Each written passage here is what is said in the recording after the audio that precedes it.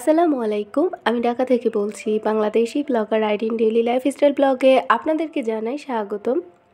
কাছে এবং দূরে, দেশ এবং দেশের বাহিরে যে যেখান থেকে আমার আজকের ভিডিওটি দেখছেন, আশা করছি আল্লাহর রহমতে ভালো আছেন।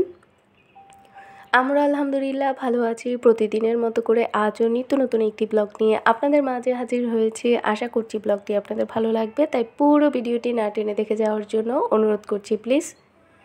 ভিডিও শুরুতে আজ আমার অনেক আপু বুঝতে পারবে আমার বয়সটা একটু অন্যরকম শোনা যাচ্ছে। তো হ্যাঁ আসলে এখন তো সিজনারি সমস্যা, তার জন্য সবার বাসায় কম বেশি সর্দি, কাশি লেগেই আছে। তো আমাদের বাসায়ও সেম সমস্যা, আমার আয়নেরও অনেক ঠান্ডা লেগেছে, তার সাথে আমার শাশুড়ি মায়ের, এখন আবার আমার। তো আল্লাহর উপর ভরসা, আবার হয়তো ঠিক হয়ে যাবে, তবে আজকে বয়স দিতে এসে খুব টেনশন করছিলাম। যে কখন আবার কাশি, হাঁচি চলে আসে এই আর কি। তো এক গ্লাস গরম পানি নিয়েই কিন্তু আজকে বয়স দিতে বসেছি। আর এই তো মিষ্টি মানে আমাদের বাঙালিদের জন্য অনেক আনন্দের বিষয়। খুব ভালো সময় আসলে আমরা মিষ্টি বিতরণ করি। আর আমার যারা রেগুলার বিয়র্স আছেন, তারা তো অবশ্যই জানেন যে কেন মিষ্টি বিতরণ হচ্ছে। তো আপু আর বাবু আল্লাহর রহমতে কিন্তু বাসায় এসেছেন। তো তারই জন্য কিন্তু পাশের বাসায় আমরা মিষ্টি বিতরণ করছি আর এখানে দুধমালাই আনা হয়েছে আমাদের বাসায় সবার জন্য। আমাদের বাসায় এমনিতেই মিষ্টি খাবারটা আমরা খুব কম পছন্দ করি, তার মধ্যেও যেটা হয়েছে ডায়াবেটিসের প্রবলেম কিন্তু কম বেশি সবারই দেখা দিচ্ছে।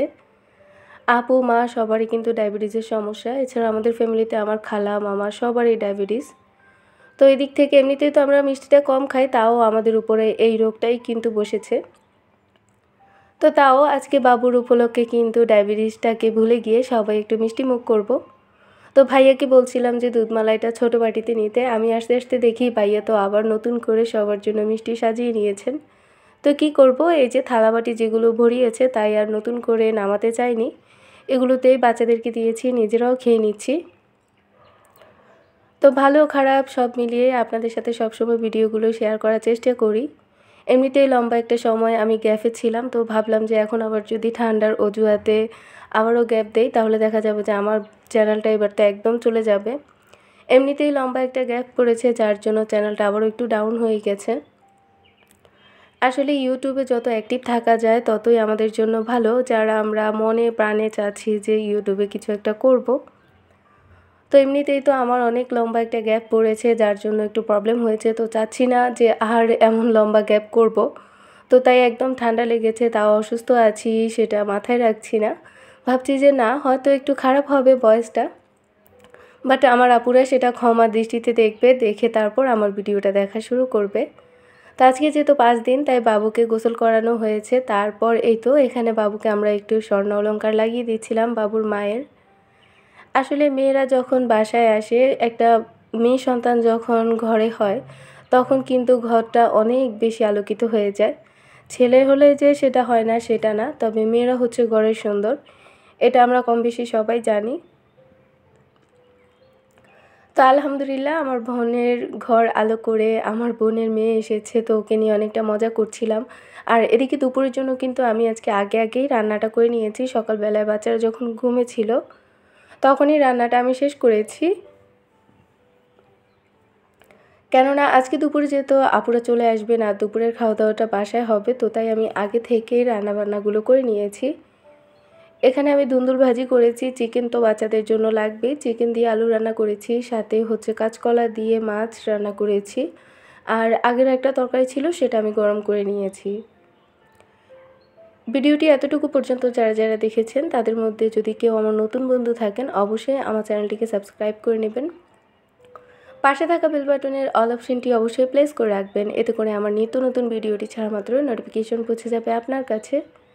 আর কাজটি যদি অলরেডি আপনি করে থাকেন, আপনাকে অসংখ্য ধন্যবাদ। তার সাথে আপনি যদি আমার ভিডিওটি ফেসবুক পেজ থেকে দেখে থাকেন প্লিজ আমার ফেসবুক পেজটাকে ফলো দিয়ে রাখবেন। তো পিঁপড়া জ্বালায় তো কিচেনে কিছুই রাখা যাচ্ছে না, তাই আমি রান্নাবান্না করে সব কিছু টেবিলের উপরে এনে রেখে দিয়েছি। যেহেতু আমরা বাসারই মানুষ, কোনো গেস্ট নেই, তো তাই আর অত বেশি এটা সেটা করতে যাইনি। বিকেলবেলায় ভাইয়া আমাকে আর বড় আপুকে নিয়ে মার্কেটে গেছিল। তো এই তো সবার জন্য কাপড় চোপড় নিল, কাকে কোনটা দিবে সেটাই ঠিক করার জন্য আমাকে আর বড় আপুকে নিয়ে গেছে। তো টুকটাক আমাকে, বড় আপুকে, মাকে, আমার ভাবিকে আমার খালাকে সবার জন্যই এখানে নেওয়া হয়েছে কম বেশি যারা ওনার মেয়ের জন্য কষ্ট করেছেন। তাদের সবাইকে কিন্তু গিফট হিসেবে তো সবাইকে জামা দিয়েছেন। তো মা আর খালা মেক্সি পরেন। তো তাই ওনাদের জন্য মেক্সি নিয়েছি। এগুলো সবই আমার পছন্দ করা। তো সবাই বলছিল যে আমি পছন্দ করে কিনে আনলেই হবে। তো আমি আর বড় আপু গেছিলাম, সাথে ভাইয়া গেছিল। তো এখানে আয়নের জন্য দুইটা প্যানও নেওয়া হয়েছে। তো তারপর বসে বসে এখানে আচার খাচ্ছিলাম, এগুলো আপু নিজে দিয়েছিল। তো আপু বলছিল যে আচারগুলো শেষ করে যা। আপু তো এখন আর এই ধরনের আচারগুলো খাবে না, ওর কাছে এখন আর ভালো লাগবে না। আর তাছাড়া টক জাতীয় জিনিসগুলো একা একা খেতে ভালোও লাগে না। অনেকে একসাথে বসে খেলে তারপর এটা ভালো লাগে। তো এখানে আমি, আমার বোনের মেয়েরা, বড় আপু মিলে বসে বসে খাচ্ছিলাম। অলরেডি একবার খাওয়া হয়েছে। তো খুব বেশি ভালো লেগেছে, তাই আবারও একটু নিয়ে নিচ্ছি। টক জাতীয় খাবার যখন খাই না, তখন খেতে ইচ্ছে করে। আর যখন খাই না, তখন আবার আমার খেতে ভালোই লাগে না। তো আবারও সেই পূর্ণ রিকোয়েস্টই করতে চাচ্ছি। যারা যারা ভিডিওটি এতটুকু দেখেছেন, ভিডিওর কোনো একটি অংশ যদি আপনার ভালো লেগে যায় প্লিজ অবশ্যই মনে করে একটি লাইক দিয়ে দেবেন। আসলে প্রত্যেক দিনই এই কথাটা বলি। এই কথাটা বলার অনেক কারণ আছে। আপনার একটা কমেন্ট আমার জন্য অনেক মূল্যবান। তার চাইতে বেশি মূল্যবান হচ্ছে আপনার লাইকটা কমেন্ট করলে সেটার কারণে আমি অনেক বেশি আগ্রহী হব নতুন ভিডিও নিয়ে আসতে। আর যদি লাইক দিয়ে থাকেন, তাহলে আপনারই মতো যারা ফ্যামিলি ব্লগগুলো পছন্দ করেন, তাদের কাছে পৌঁছে যাবে আমার এই ছোট ভিডিওটি এতে করে আমি অনেকটাই উপকৃত হব। তো প্লিজ যারা যারা আমার ভিডিওটি দেখছেন, অনুগ্রহ করে একটি লাইক দিয়ে দেবেন। তো এখানে রাতের বেলা রান্না হচ্ছে, কাল আমি চলে যাব। তো আগে থেকেই ভাবলাম যে কিছু কিছু রান্না করে এনে আসলে আমার ভাইয়া আসবে, বড় অপুর হাজব্যান্ড আসবে। সাথে আমার শাশুড়ি আর আয়নের বাবাও আসবেন কেননা ওনারা এখনও বেবিকে দেখেননি। তো বেবিকেও দেখবেন, তার সাথে আমাকেও নিয়ে যাবেন। তো সেটা আসলে আর হয়নি, কেননা আইনের বাবার অফিসে অনেক বেশি চাপ ছিল, যার জন্য উনি আর আসতে পারেননি। আমি একাই ফিরে গেছিলাম। আর মা তো একা একা আসতে পারবেন না, তাই মা আরও আর আসা হয়নি। ইনশাল্লাহ পরে আবার সময় করে এসে বাবুকে দেখে যাওয়া যাবে। সকালবেলায় মা বাবুকে নিয়ে ছাদে এসেছেন। আসলে বাবু একটু হলুদ হয়ে গেছে, একটু জন্ডিসের ভাব, আর ছোটোবেলায় বাচ্চাদেরকে একটু রোদে দেওয়াটাই ভালো।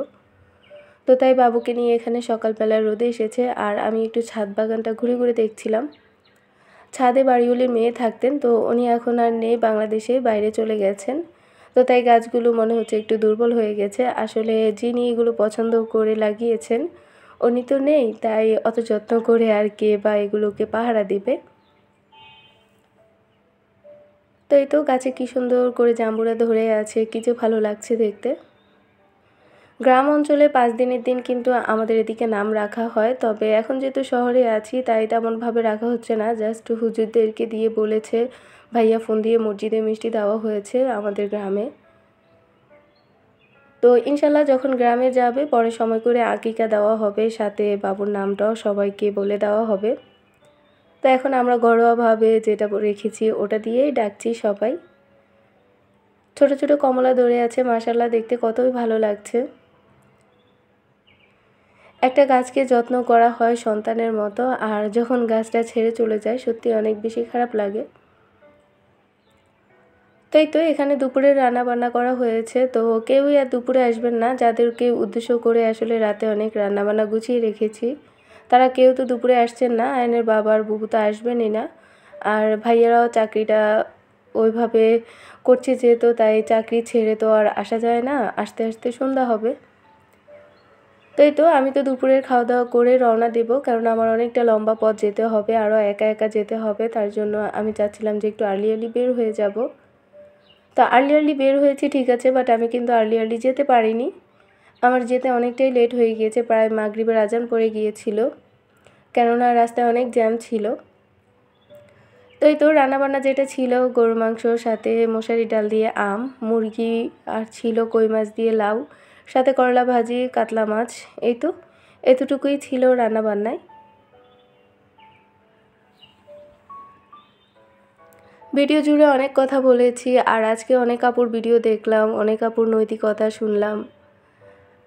আসলে অনেক গুরুত্বপূর্ণ বিষয়গুলো অনেক সময় বলতে চাইলেও বলা হয় না, সবাই সব কথা আসলে গুছিয়ে বলতে পারে না।